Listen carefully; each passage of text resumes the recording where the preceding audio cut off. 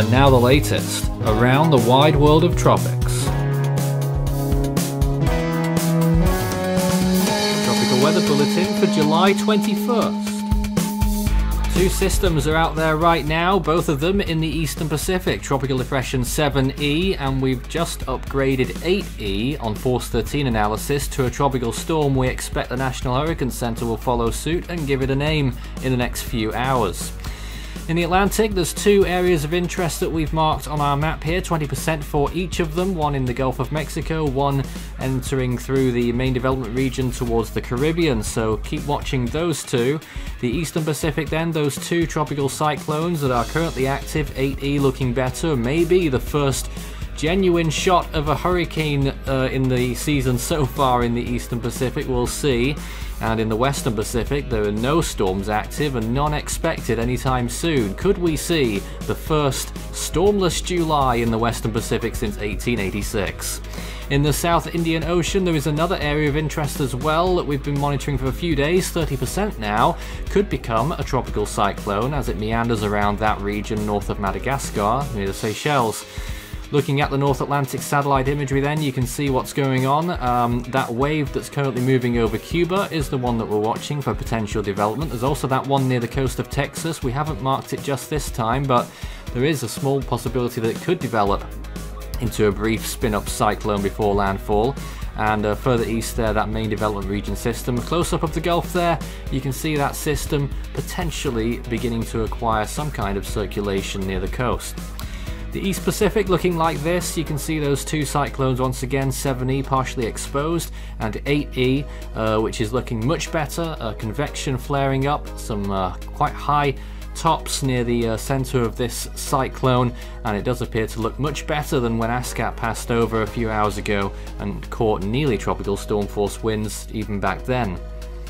The Western Pacific is looking extremely dead.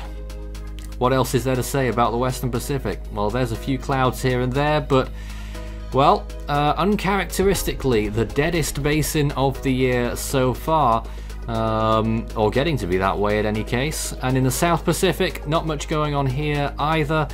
Uh, you can see it is expected this time, though, in the so South Pacific, uh, just a few little thunderstorms blowing up over the Solomon Islands. And in the Indian Ocean, that 30% area again, uh, nothing to it so far, but we're really watching day 3 to 5 for this system. Should it develop, um, we'll watch it very closely. It will start off very broad. Sea surface temperatures then already, some of it being sapped away by those two tropical cyclones in the eastern Pacific, so it's really got a low tolerance over there for tropical cyclone activity before those temperatures start to dwindle. Over in the Atlantic though, uh, water's still very warm indeed and warming even further, 30 degrees, quite commonplace now in the Gulf and off the uh, Atlantic coast as well, uh, over the Bahamas, south of Cuba, into the Caribbean, off the coast of Haiti, almost everywhere around there. 30 degree waters, very warm. The Indian Ocean uh, also slightly warming up in one or two places, but generally the same, with the monsoonal pattern still dominating. And in the Western Pacific, um, you can still see a very similar pattern there as well, but still very warm waters extending from the South China Sea across Luzon into the Philippine Sea towards the northern Mariana Islands there. And warmer waters still 28 degrees plus, extending almost all the way up to the Japanese islands. And there's the latest sea surface temperature anomalies. Curiously, a cool pool there in the northern part of the East China Sea. And further towards the east there, the Eastern Pacific, uh, generally hot and cold. And the Atlantic, much warmer than average across pretty much all of the basin, at least all the areas that matter anyway. So very interesting to see what might happen later in the year. Well, on July 21st, 2002, we had Tropical Storm Douglas, which is ironically what we might be just about to have in 2020 in just a matter of hours. Elsewhere, we had uh, Typhoon Fengshen, which peaked as a Category 5 um, its second Category 5 peak today. Kalmaegi, which was crossing the international date line, was named and pretty much only lasted one or two advisories, and Fung-wong was a tropical storm further to the northwest. Tropical Depression 13W was cross crossing the Philippine Islands. It would dissipate tomorrow off the western coast of Luzon. So the next name in the Atlantic will be Gonzalo, followed by Hanna. In the Eastern Pacific, we're expecting that 8E will be named Douglas, and the next name after that would be Elida, but we'll wait and see for confirmation. In the Central Pacific, Hone is next up on list 1. In the Western Pacific, the next name on list 3 is Sinlaku, followed by Hagupit, and in the North Indian Ocean, the next name on list 1 is Gati.